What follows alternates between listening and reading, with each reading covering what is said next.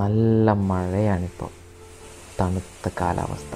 ഈ സമയത്ത് നല്ല ചൂടുള്ള പക്കാവട കിട്ടിയാലോ? അതും നല്ല അടിപൊളി പപ്പായ പക്കോട. അപ്പോൾ നമ്മൾ ഇന്ന് ഉണ്ടാക്കാൻ പോകുന്നത് പപ്പായ പക്കോടയാണ്. അപ്പോൾ നമുക്ക് വീഡിയോയിലോട്ട് പോവാം.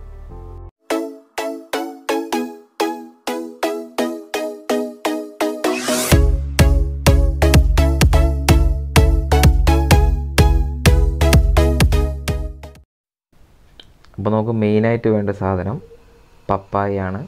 പപ്പായ ചിരവി എടുത്തത് ഒരു നാല് ടേബിൾ സ്പൂൺ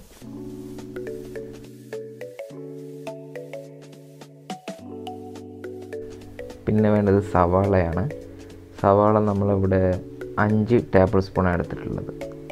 ചെറുതായി അരിഞ്ഞതാണ്. അതിനുശേഷം പച്ചമുളക് രണ്ട് ചെറിയ പച്ചമുളകാണ്. പിന്നെ ഇച്ചിരി കറിവേപ്പില രണ്ട് തണ്ട് കറിവേപ്പിലാണ് എടുത്തിട്ടുള്ളത്.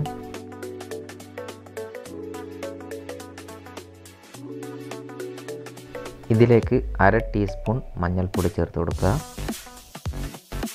പിന്നെ ഒരു ടേബിൾ സ്പൂൺ മല്ലിപ്പൊടി ചേർത്ത് കൊടുക്കുക.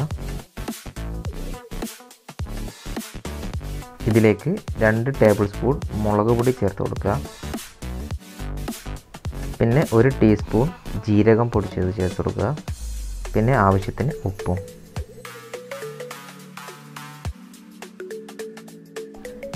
പിന്നെ നമുക്ക് വേണ്ടത് കടലപ്പൊടിയാണ്. ഒരു കപ്പ് കടല മാവ് എടുക്കുക. എന്നിട്ട് എല്ലാം കൂടി നന്നായി മിക്സ് ചെയ്ത് കൊടുക്കുക. ആവശ്യത്തിന് വെള്ളം കൂടി ചേർത്തതിന് ശേഷം നന്നായി മിക്സ് ചെയ്ത് കൊടുക്കുക.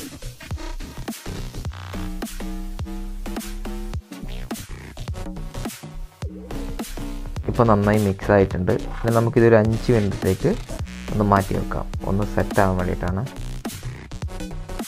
ഇനി എണ്ണ നന്നായി ചൂടായതിന് ശേഷം നമുക്ക് നമ്മൾ മിക്സ് പക്കാവുടെ രൂപത്തിൽ റൗണ്ട് ആക്കിയിട്ട് ഇതിൽ ഫ്രൈ ചെയ്തെടുക്കുക നല്ല ബ്രൗൺ കളർ ആവുന്നവരെ ഫ്രൈ ചെയ്തെടുക്കുക.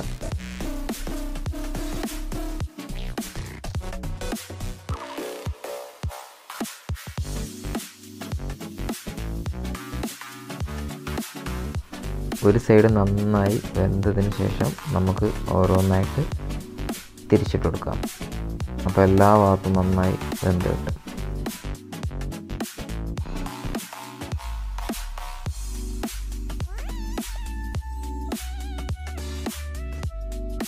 ഇപ്പം നല്ലപോലെ ഫ്രൈ ആയിട്ടുണ്ട് ഇതേ. ഈ പരുവത്തിൽ നമുക്ക് ബ്രൗൺ കളറായിട്ട് കിട്ടണം. നമുക്കിത് മാറ്റി വെക്കാം.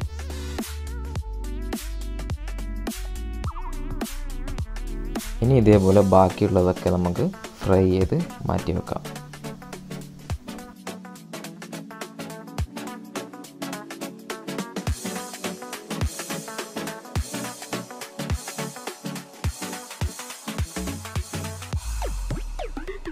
അപ്പോൾ ഇത്രയേ ഉള്ളൂ. ഇത്ര സിമ്പിളാണ് നല്ല ചൂടുള്ള പപ്പായ പക്കാവട റെഡി പക്ഷെ എന്തോ ഒരു സാധനം കൂടെ മിസ്സാവുന്നുണ്ട് നല്ല അടിപൊളി കട്ടൻ ചായയും കൂടെ കിട്ടിയാൽ കട്ടൻ ചായയും പക്കാവടയും പിന്നെ നല്ല മഴയും അടിപൊളിയായിരിക്കും.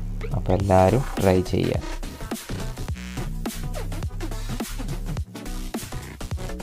അപ്പോൾ നമുക്ക് ഈ പക്കാവട കുട്ടികൾക്ക് ടേസ്റ്റ് ചെയ്യാൻ കൊടുക്കാം. എങ്ങനെ ഉണ്ടാവുമെന്ന് അവർ പറയും. അപ്പോൾ നമുക്ക് നോക്കി നോക്കാം. കഴിച്ചോ